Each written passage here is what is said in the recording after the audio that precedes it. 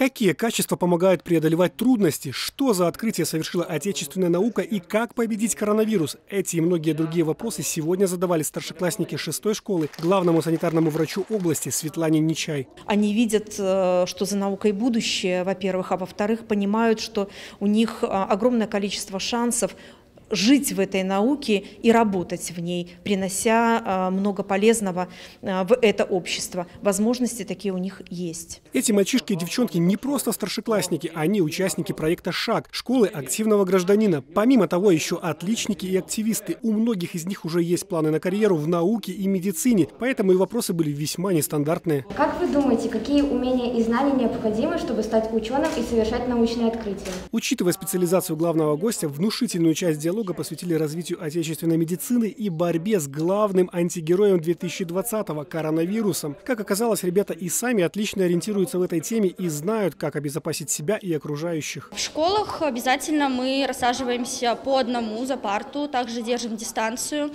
Э, в каждом кабинете это стоят санитайзеры, э, все учителя носят маски. Э, дети, к сожалению, не все, но все стараются придерживаться этих правил. Светлана Нечай подробно рассказала учащимся о том, как наши медики справляются с пандемией и как на помощь идет массовая вакцинация. Десятки вопросов школьников не остались без ответа. Вполне возможно, что уже в скором будущем эти юные таланты сами станут именитыми врачами, учеными, инженерами и внесут неоценимый вклад в развитие науки и общества. Аванес Степанян, Андрей Богдан, Бобруйск 360.